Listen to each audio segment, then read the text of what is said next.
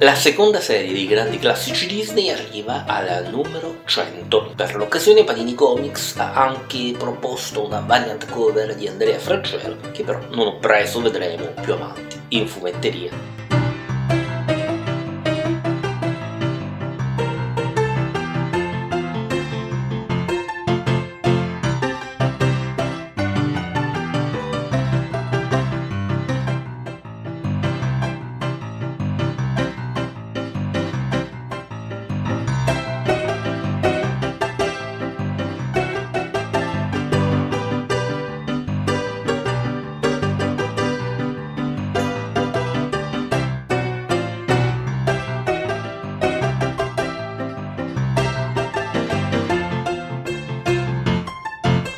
La testata in effetti si contiamo anche i 350 numeri della prima serie ha effettivamente raggiunto le 450 uscite. Aveva iniziato le sue pubblicazioni nel lontano 1980 e poi a partire dal 2004, quando venne affidata Luca Boschi, venne aggiunta a sommario una storia particolare che poi numero dopo numero divenne un'intera sezione, la sezione delle oggi note storie superstar. E nell'occasione di questo centesimo numero, Pierluigi Gaspa, che oggi gestisce la testata dopo la prematura scomparsa di Boschi, ha deciso di regalarci quattro storie uscite su altrettanti numeri significativi di Topolino, i numeri 200, 800, 1200 e 1300, diventando così questa sezione una specie di celebrazione dei 75 anni di Topolino.